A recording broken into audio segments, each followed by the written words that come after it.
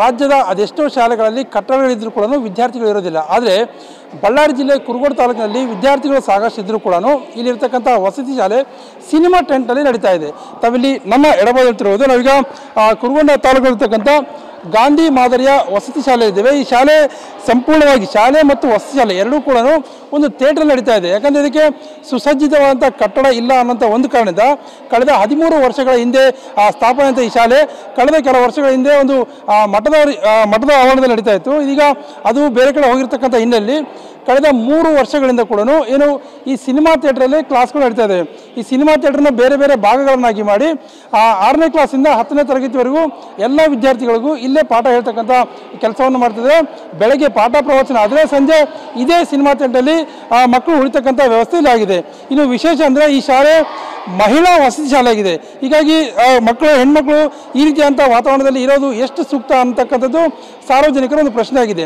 ಸರ್ಕಾರ ಶಾಲೆಗಳನ್ನು ಮತ್ತು ವಸತಿ ಶಾಲೆಗಳನ್ನು ನಿರ್ಮಾಣ ಮಾಡ್ತೀವಿ ಆದರೆ ಅದಕ್ಕೆ ಬೇಕಾದಂಥ ಮೂಲಭೂತ ಸೌಕರ್ಯ ಕೊಡೋದು ಸಾಕಷ್ಟು ಹಿನ್ನಡೆಯಾಗಿರ್ತಕ್ಕಂಥ ಹಿನ್ನೆಲೆಯಲ್ಲಿ ಇದೀಗ ಸಿನಿಮಾ ಟಾಕೀಸಲ್ಲಿ ಒಂದು ವಸತಿ ಶಾಲೆ ನಡೀತಾ ಇದೆ ಅಂದರೆ ಇದಕ್ಕಿಂತ ದುರ್ದೈವ ಇನ್ನೊಂದು ಬೇಕಾ ಅನ್ನೋಂಥ ಪ್ರಶ್ನೆಯನ್ನು ಸಾರ್ವಜನಿಕರು ಮಾಡ್ತಾ ಇದ್ದಾರೆ. ಸಾಕಷ್ಟು ವಿದ್ಯಾರ್ಥಿಗಳು ನಿಂತಿದ್ದೇವೆ ಅವ್ರನ್ನ ಕೇಳಬನ್ನಿ ಎಷ್ಟು ಕ್ಲಾಸ್ ಮ್ಯಾಮ್ ಸ್ಟ್ಯಾಂಡರ್ಡ್ ಏನು ಅನಿಸ್ತಮ್ಮ? ಈ ಥರ ಥಿಯೇಟ್ರ್ ಇರೋದು ಸರಿ ಅನಿಸುತ್ತಾ? ಕ್ಲಾಸ್ಗಳು ಭಾಳ ಡಿಸ್ಟರ್ಬ್ ಆಗ್ತದೆ ಸರ್ ಹಾಂ. ಹೇಳಮ್ಮ ಹೇಳಿ? ನಮಗೆ ಹೊಸ ಕಟ್ಟಡ ಒಂದು ಕಟ್ ಸ್ವತಃ ಕಟ್ಟಡ ಒಂದು ಬೇಕಾಗಿದೆ. ಕ್ಲಾಸ್ ರೂಮ್ ಭಾಳ ಡಿಸ್ಟರ್ಬ್ ಆಗ್ತಿದೆ ಸರ್ ಇನ್ಬಿಟ್ಟು ಎಲ್ಲ ಚೆನ್ನಾಗಿದೆ. ಹಾಂ.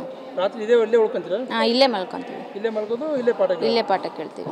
ಹೆಂಗೆ ಅನ್ಸುತ್ತಮ್ಮ ಈ ಥರ ಒತ್ತಡದಾಗಿದೆ ಅಂತ? ಡಿಸ್ಟರ್ಬೆನ್ಸ್ ಆಗುತ್ತೆ ಪಕ್ಕದ ಕ್ಲಾಸ್ ನಿಮಗೆ? ಭಾಳ ಡಿಸ್ಟರ್ಬೆನ್ಸ್ ಆಗುತ್ತೆ ಸರ್ ಓದಕ್ಕೆ ಸರಿಯಾಗಿ ಕಾನ್ಸಂಟ್ರೇಷನ್ ಸಿಗಲ್ಲ. ಹಾಂ. ಏನಂತ ನಮ್ಮ ಸ್ಕೂಲಿಗೆ ಹೊಸ ಕಟ್ಟಡ ಮಾಡಿಸ್ಕೊಡ್ರಿ ಮತ್ತು ಎಂ ಎಲ್ ಎ ಯಾರೂ ಬಂದು ವಿಸಿಟ್ ಮಾಡಿಲ್ಲ. ಬಂದು ನೋಡ್ಕೊಂಡು ನಮ್ಮ ಸ್ಥಿತಿ ಹೆಂಗೈತೆ ಅಂತಂದು ಹೇಳಿ ಮತ್ತು ಇದು ಆರು ಎಕರೆ ಹೊಲ ತಗೊಂಡಾರ ಅದಕ್ಕೆ ಅನುದಾನನ ಬಿಡುಗಡೆ ಮಾಡ್ಕೊಡ್ಬೇಕಂತ ಸರ್ಕಾರಕ್ಕೆ ವಿನಂತಿ ಮಾಡ್ತೇವೆ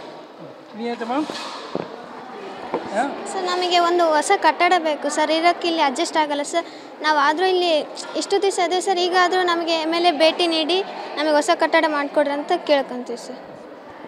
ಇದು ಆ ವಿದ್ಯಾರ್ಥಿಗಳ ಒಂದು ಅವ ಆದರೆ ನೀವು ಇಲ್ಲಿರ್ತಕ್ಕಂಥ ಮೇಷ್ಟ್ರು ಏನು ಹೇಳ್ತಾರೆ ಅವ್ರನ್ನ ಕೇಳಿ ಸರ್ ಎಷ್ಟು ವರ್ಷದಿಂದ ಇದೇ ಥಿಯೇಟರ್ ನಡೀತಾ ಇದೆ ಸರ್? ಸರ್ ಎರಡು ಸಾವಿರದ ಇಪ್ಪತ್ತರಿಂದ ಇದೇ ಥಿಯೇಟ್ರಲ್ಲಿ ನಡೀತಾ ಇದೆ ಸರ್.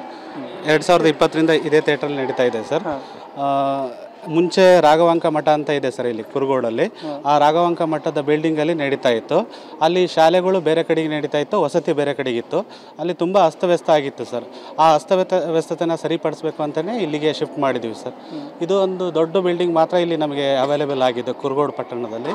ಸುತ್ತಮುತ್ತ ಪಟ್ಟಣದಲ್ಲಿ ನಾವು ಭಾಳಷ್ಟು ಕಡೆ ಹುಡುಕಿದ್ವಿ. ಆದರೆ ನಮಗೆ ಸೂಕ್ತವಾದ ಕಟ್ಟಡಗಳು ದೊರೆಯಲಿಲ್ಲ ಹಾಗಾಗಿ ನಾವು ಈ ಒಂದು ಕಟ್ಟಡವನ್ನು ಆಯ್ಕೆ ಮಾಡಿಕೊಂಡು ಪಬ್ ಪಿ ಡಬ್ಲ್ಯೂ ಡಿ ಡಿಪಾರ್ಟ್ಮೆಂಟ್ನವರಿಗೆ ರಿಕ್ವೆಸ್ಟ್ ಮಾಡಿಕೊಂಡಾಗ ಅವರು ಕಟ್ಟಡ ಎಲ್ಲ ಪರಿಶೀಲನೆ ಮಾಡಿಬಿಟ್ಟು ಈ ಒಂದು ವಸತಿ ವ್ಯವಸ್ಥೆಗೆ ಅನುಮತಿಯನ್ನು ನೀಡಿ ಇದಕ್ಕೆ ಬಾಡಿಗೆಯನ್ನು ಕೂಡ ನಿಗದಿಪಡಿಸಿ ನಮಗೆ ಒದಗಿಸಿಕೊಟ್ಟಿರ್ತಾರೆ. ಆದರೆ ಇಲ್ಲಿ ಮೂಲತಃ ಏನಾಗಿದೆ ಅಂತಂದರೆ ವಸತಿ ಶಾಲೆ ನಿರ್ವಹಣೆ ಮಾಡಲಿಕ್ಕೆ ಸಾಕಾಗುವಷ್ಟು ನಮಗೆ ಸ್ಥಳಾವಕಾಶ ಇಲ್ಲಿ ಇಲ್ಲದೆ ಇರೋದು ನಮಗೆ ದೊಡ್ಡ ಒಂದು ಕೊರತೆಯಾಗಿ ಕಾಡ್ತಾ ಇದೆ. ಮಕ್ಕಳು ಇಲ್ಲೇ ಪಾಠ ಮಾಡ್ತೀರಿ ಬೆಳಗ್ಗೆ ಮತ್ತೆ ಸಂಜೆ ಇಲ್ಲೇ ಮಲ್ಕೊಳ್ಳೋದು ಎಲ್ಲ ಸ್ವಲ್ಪ ಅಸ್ತವ್ಯಸ್ತ ಅನಿಸುತ್ತೆ ಸರ್. ಹೌದು ಸರ್ ತುಂಬ ಅಸ್ತವ್ಯಸ್ತ ಇದೆ. ಈಗ ಇಲ್ಲಿ ಈ ಪಟ್ಟಣದಲ್ಲಿ ನಮಗೆ ದೊಡ್ಡ ಕಟ್ಟಡಗಳು ದೊರೆ ದೊರೆಯದೇ ಇರೋದ್ರಿಂದ ಅನಿವಾರ್ಯವಾಗಿ ನಾವು ಇಲ್ಲಿ ಈ ಒಂದು ಕಟ್ಟಡದಲ್ಲಿ ಉಳಿಬೇಕಾದಂಥ ಪರಿಸ್ಥಿತಿ ಇದೆ ಸರ್. ಇದು ಇಲ್ಲಿರ್ತಕ್ಕಂಥ ಮೇಷರು ಮತ್ತು ವಿದ್ಯಾರ್ಥಿನಿಯರು ಹೇಳ್ತಕ್ಕಂಥ ಒಂದು ಮಾತು. ಸಾಕಷ್ಟು ತೊಂದರೆಯನ್ನು ಅನುಭವಿಸ್ತಾ ಇದ್ದೀವಿ ಆದರೆ ಅನಿವಾರ್ಯ ಕಾರಣಗಳಿಂದ ಸರ್ಕಾರ ಈವರೆಗೂ ನಮಗೆ ಸ್ವಂತ ಕಟ್ಟಡ ಅಥವಾ ಆ, ನಿಗದಿತವಾದಂಥ ಬಾಡಿಗೆ ಕಟ್ಟಡ ಇಲ್ಲದೇ ಇರತಕ್ಕಂಥ ಹಿನ್ನೆಲೆಯಲ್ಲಿ ಸಾಕಷ್ಟು ತೊಂದರೆಯನ್ನು ಅನುಭವಿಸ್ತಿದ್ದೇವೆ ಅನ್ನೋಂಥ ಮಾತನ್ನು ಹೇಳ್ತಾ ಇದ್ದಾರೆ. ಹೀಗಾಗಿ ಸರ್ಕಾರ ಯಾವುದೇ ಒಂದು ಯೋಜನೆ ಅಥವಾ ವಸತಿ ಶಾಲೆ ಮಾಡೋದಕ್ಕಿಂತ ಮುಂಚೆ ಬಿಲ್ಡಿಂಗ್ ಇಲ್ಲದೇ ಇದ್ದರೆ ಇಷ್ಟೆಲ್ಲ ತೊಂದರೆ ಅನುಭವಿಸ್ತಾರೆ ಅನ್ನೋದಕ್ಕೆ ಈ ಟೆಂಟ್ ಮಾದರಿಯ ಶಾಲೆ ಸಾಕ್ಷಿಯಾಗಿದೆ. ಕ್ಯಾಮ್ರಾ ಪರ್ಸನ್ ಶ್ರೀನಿವಾಸ್ ಜೊತೆ ನರಸಿಂಹಮೂರ್ತಿ ಏಷ್ಯಾನೆಟ್ ಸುವರ್ಣ ನ್ಯೂಸ್ ಬಳ್ಳಾರಿ.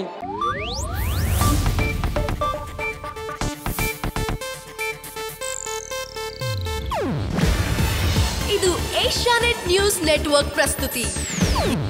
ನೀವು ನೋಡ್ತಿದ್ದೀರಾ ಏಷ್ಯಾನೆಟ್ ಸುವರ್ಣ ನ್ಯೂಸ್.